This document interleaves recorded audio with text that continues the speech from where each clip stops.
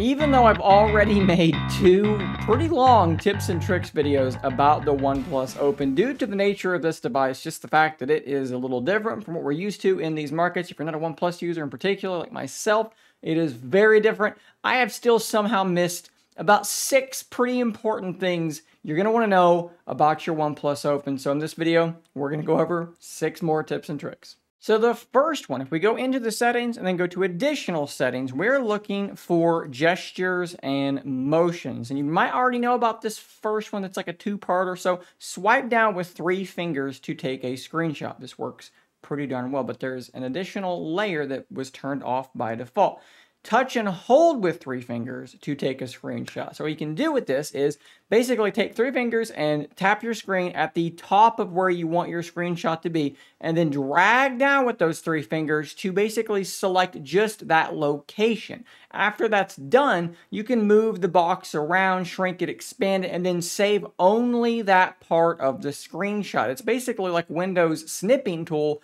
built in, and I absolutely love this feature. If we go back out to additional settings and we go into screenshot, you may also want to change a couple of things here, like for instance, delete original image after editing. What this means is if you do the three finger swipe down and take a screenshot, you can go to this option here where you can mark it up, change the size, crop things as well. And when you're done, you click on the save button. And if you don't have that setting enabled, what you're gonna have is the original full screen as well as the cropped or edited version. For me, this is obviously annoying, so I'm going to turn that on 10 out of 10 times. So another one that I'm not necessarily using myself, but I thought I'd mention it because I think a lot of people maybe have missed that it is a thing. If you long press on your home screen and you go into icons, you can actually install custom icon packs. As you see, I installed one here. Let's click on it and click on apply. Yes, indeed, the OnePlus Launcher does support custom icons. Now, you may ask yourself, Shane, why are you not using it? Well, the reason I'm not using it is because I can't find an icon pack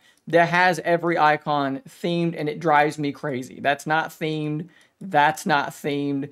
Absolutely drives me nuts. Now, I think that there is a little bit of a bug going on because in theory, I should be able to long press, edit, click on that, and then pick an icon from the icon pack. And I could theoretically find one that's going to work well enough. And I'll show you what happens here. If I scroll all the way down, this icon pack I'm sure has a thousand icons. And yet I get to a certain point right here and it just stops letting me look. So if I don't find an icon that fits the bill in this first handful, I'm just not going to find one. At least that's how it's functioning or not functioning on mine. So you can do it. Maybe you can find an icon pack that works really, really well for you. You can find them in the Play Store quite easily, and that's how you set them. For me, I just don't think that it's working well enough, so I'm going to stick with that, and that's just where we are.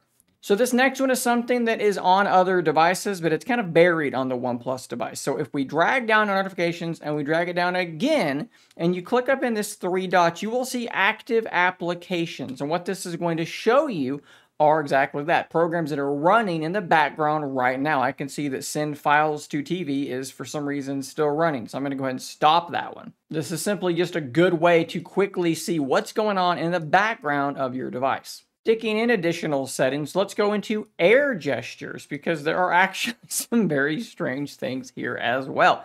Hold your hand 20 to 40 centimeters from the front camera and when a prompt appears at the screen, move your hand to complete the task. And you can answer or mute calls, scroll up or scroll down, or play or pause videos. Let's try the scroll up or scroll down things. We're going to turn that on. And what we're going to do is I should be able to hold my hand up in front of the screen. And as you can see, it popped up. Now I'm scrolling the wrong direction, so let's do the back of the hand. And let's flick to scroll up. I don't know why you would necessarily want to do this. It seems like it's scrolling very, very slowly but it's there. Maybe the ability to answer or dismiss a phone call would work better. Player pause videos, maybe it's on a stand sitting in front of you or something like that. It's a very strange one, but it's there and it's worth mentioning. Here's another one that might make your life a little bit easier. If you're going to use the built-in share feature on this device, you get this pop-up. But if you're anything like I am, most of these you're just not going to use. I only use a handful of them. Typically, it's CX File Explorer to send B-roll from the phone to my computer wirelessly. But let's say I want to have Google Messages in there. You can long press that and then pin it, and it will now stay right there at the top. No more scrolling through trying to find the share target that you are looking for. If we go back into additional settings again, this time let's go into keyboard and input methods, and we'll see here this option, keyboard location. By default, it is set to raised, and I'll show you what this means. Let's go up here to this text box,